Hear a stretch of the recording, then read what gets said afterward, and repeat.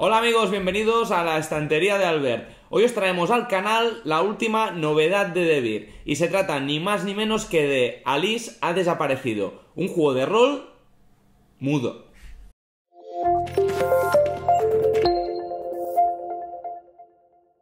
Como sabéis, nosotros no solemos hablar de juegos de rol, pero este en particular nos llamó muchísimo la atención, así que mm, quisimos eh, traerlo al canal para poder enseñároslo y explicaros cómo se juega. Durante el vídeo no os preocupéis porque no os vamos a hacer ningún spoiler, todo lo que os vamos a contar y enseñar está explicado en el manual y nosotros simplemente os lo vamos a resumir para que sepáis cómo funciona una partida y cómo prepararla. ¿Qué nos pasó a nosotros. Abrimos el juego ya con la intención de empezar a jugar directamente y nos dimos cuenta de que eso no era posible. El manual es bastante extenso, toca temas delicados y hace bastante hincapié en poner límites, según las personas que vayan a jugar, sobre temas que eh, pueden afectar nuestra sensibilidad o la de los demás compañeros. Así que hay que dejar las normas muy claras antes de empezar y decidimos aplazarlo y jugar la partida en otra ocasión. Por este motivo os recomendamos que veáis el vídeo porque así ya sabréis cuáles son las mecánicas y os va a resultar mucho más fácil empezar con la primera partida. El juego está recomendado para mayores de 16 años. Podéis jugarlo de 3 a 5 jugadores y las partidas tienen una duración de entre 2 y 3 horas. Eso sí, me gustaría puntualizar que el grueso de la partida son 90 minutos y vienen cronometrados por una banda sonora que os vais a tener que descargar. El resto, eh, pues será eh, lo que tardéis en preparar el juego, en hacer las fichas de vuestros personajes y demás. Pero a la que le deis al play para empezar la partida, que sepáis que tenéis 90 minutos para resolver dónde se encuentra Alice. Y bueno, vamos a coger la caja y vamos a leer lo que pone en el dorso, ¿vale? Dice, en el silencio encontramos la verdad. Alice ha desaparecido es un juego de rol mudo sobre la desaparición de Alice Briarwood, una estudiante de instituto de la pequeña ciudad de Silent Falls. Durante el juego los jugadores solo se comunican usando sus teléfonos, enviándose mensajes de texto mientras descubren pistas sobre lo que le sucedió a Alice. Con una banda sonora completa con licencia y una narrativa estructurada que se resuelve solo en manos de los jugadores. Alice ha desaparecido es una experiencia inmersiva diseñada para jugarse en una sesión y sin necesidad de un director de juego. Sí es cierto que no hay un director de juego, pero uno de vosotros deberá leerse el manual y estudiarse un poco las mecánicas. Esta persona ya tendrá un rol preasignado, ¿vale? Será un personaje concreto de los que hay disponibles para elegir ah, antes de empezar la partida y deberá hacer algunas cosas que vienen eh, anotadas en el manual. Por lo tanto, no hay un director de juego, pero sí hay una especie de moderador o persona que guía a los demás jugadores a lo largo de esta experiencia de juego. Y ahora sí voy a coger este manual de 48 páginas, por eso os decía que no, no vais a poder jugar nada más sacar el juego de la caja, ¿vale? Tiene bastante texto. Y os voy a comentar las cosas que a mí me han llamado más la atención y que necesitáis saber pues para empezar una partida. Bueno, pues como os comentaba, en el manual hay una sección solamente para el moderador, ¿vale? Que es el que tiene que dirigir el juego y que os explica paso a paso qué es lo que tenéis que decir al resto de jugadores. O sea, no os lo tenéis que, estudiar eh, o inventar, ¿vale? Simplemente lo leéis textualmente para que quede todo claro y en caso de que haya alguna duda, todo el mundo lo pueda consultar. Otra cosa que eh, me ha sorprendido bastante es que en el manual de moderador pone que tengamos a mano una linterna, que es posible que en algún momento puntual nos haga falta. Algo en lo que el manual hace hincapié de forma reiterada es en que este juego puede herir algunas sensibilidades. Por lo tanto, antes de empezar la partida es muy importante establecer ciertos límites o temas si algún jugador se siente incómodo con ellos. Aquí en el manual, por ejemplo, nos pone que se pueden tocar temas como dinámicas familiares tensas, dolor, muerte, violencia, celos, impotencia y que si alguien se va a sentir incómodo mm, con algún tema en concreto es mejor que lo diga antes para intentar evitarlo. Además, como se trata de un juego de rol muy narrativo en el que los jugadores van a ir desarrollando mm, su trama y, a sus personajes durante el transcurso de la partida, El juego nos propone establecer unas mecánicas de seguridad, a las que llama líneas y velos. Y ahora os cuento qué significa esto. Una línea se establece cuando los jugadores deciden que un tema no puede aparecer específicamente en la partida. Hay varios ejemplos aquí en el manual, por ejemplo, nos pone gore y violencia pues si no queréis que mm, durante vuestra partida ocurra nada relacionado con violencia física, pues podéis poner ah, una línea en este tema y nadie podrá ah, tirar por ahí su trama. En cambio, un velo es cuando no os importa que ese tema aparezca, pero lo queréis tratar ah, con bastante delicadeza.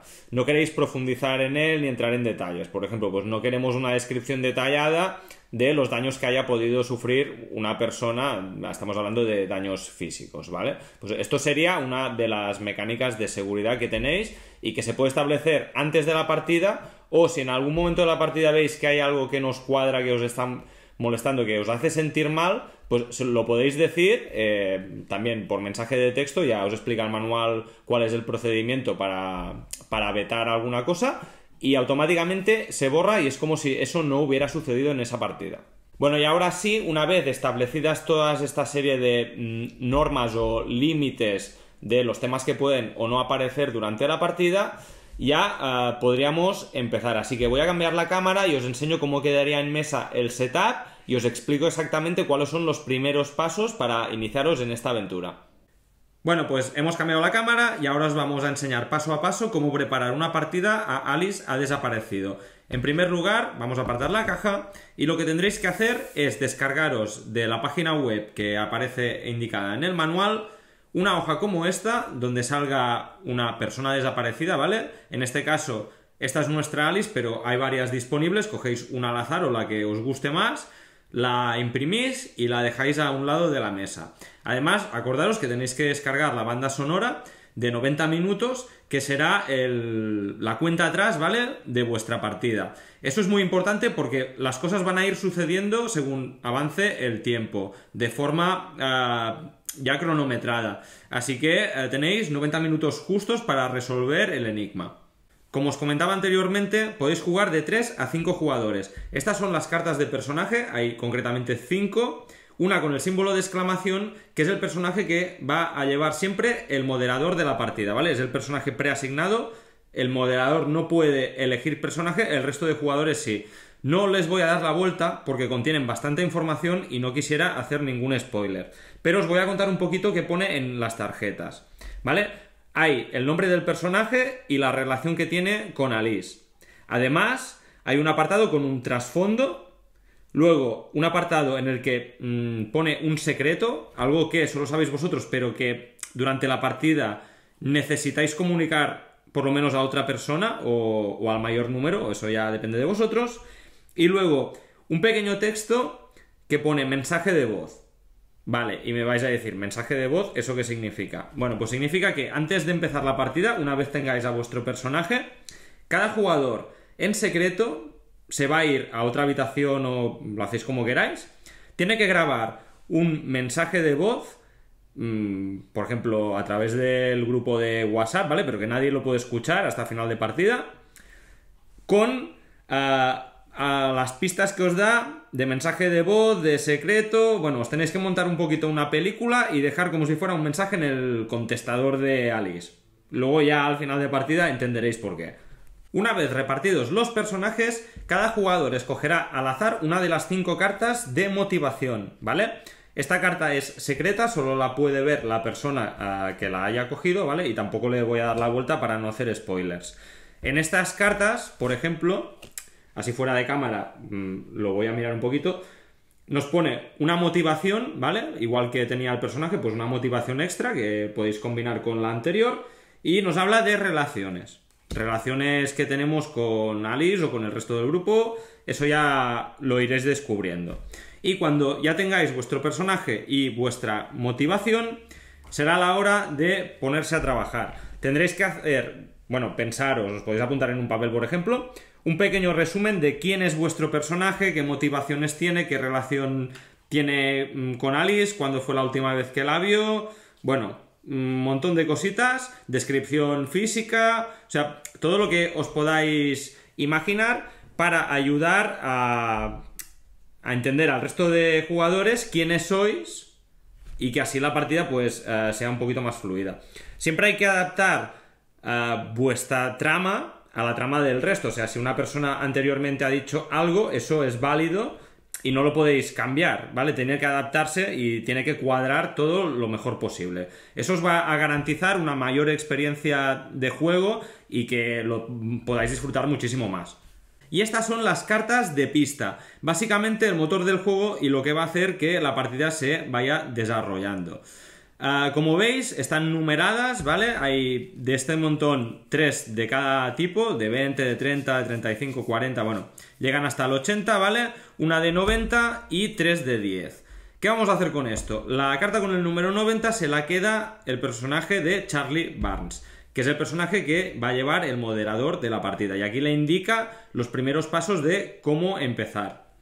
Luego, de estas cartas vamos a coger una de cada tipo, o sea, una con el 20, una con el 25 y así sucesivamente, y las repartimos al azar entre los jugadores. Eh, que todo el mundo tenga el mismo número de cartas a ser posible.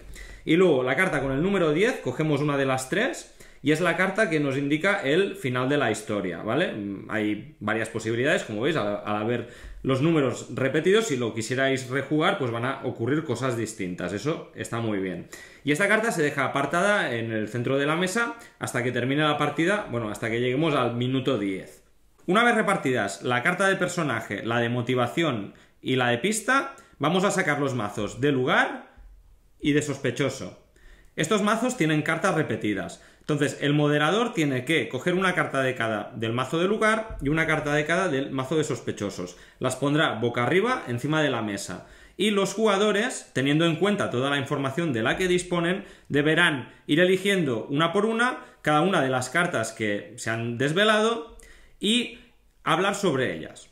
¿Vale? Eso ya mm, al gusto de cada uno. Yo puedo elegir un lugar y decir, por ejemplo, que este lugar era un lugar muy familiar para Liz, que ah, cuando tenía problemas solía acudir ahí para refugiarse. Me invento una historia, pero la tengo que relacionar con mi personaje y con las pistas que tengo y demás, ¿vale? Y por último nos quedan cuatro tipos de cartas que son muy sencillas y os explico en un momento. La primera, la carta de introducción. Esta carta la va a coger el narrador cuando empiece la partida, va a leer el texto y simplemente pues es eso, un texto introductorio para empezar. La carta con la X, que la llaman tarjeta X. Eh, al principio del vídeo os he comentado que es un juego que puede ir a algunas sensibilidades. Si en algún momento alguien se siente incómodo en la forma en cómo está yendo la partida o sobre algún tema que se está tratando, puede coger esta tarjeta para indicar que quiere vetar un tema. Luego ya, si eso, lo pone en el grupo del chat o, lo que sea y ese tema se elimina de la partida para que nadie se sienta incómodo. Aquí tenemos las cartas de búsqueda. Estas cartas eh, son como una ayuda. Si en algún momento mm, alguno de los jugadores se siente estancado, mm, que no sabe qué hacer, mm, por dónde tirar, esto es una especie de pista, de ayuda que le va a ayudar a desarrollar un poquito más su trama y su personaje, por si no tiene ideas o, siente que no está haciendo nada durante la partida. Y por último, la carta de informe, que esta carta solo la vamos a revelar una vez termine la partida y aquí nos indica cómo se resuelve todo. Bueno, y hasta aquí nuestra reseña de Alice ha desaparecido, la última novedad de Debir, este juego de rol mudo tan diferente, tan interesante. Esperamos que os haya gustado el vídeo, que os haya servido para entender un poquito las mecánicas y la temática, en qué consiste exactamente este juego, ¿vale? Para que no os llevéis una sorpresa y que también os haya servido para mm, pues poder hacer vuestra primera partida de una forma mucho más fácil y cómoda a lo mejor sin tener que leeros todo el manual, que eso siempre ayuda. Y nos gustaría pediros desde aquí, desde el canal, que eh, si tenéis la oportunidad de jugar una partida nos dejéis un comentario explicando qué sensaciones os ha dejado este juego, qué os ha parecido, porque como es una experiencia que creemos que puede afectar diferente a cada grupo de jugadores, no, nos gustaría saber por curiosidad qué eh, os ha parecido, cuáles eh, han sido vuestras impresiones también. Así que nada, hasta aquí la reseña y nos vemos en el próximo vídeo.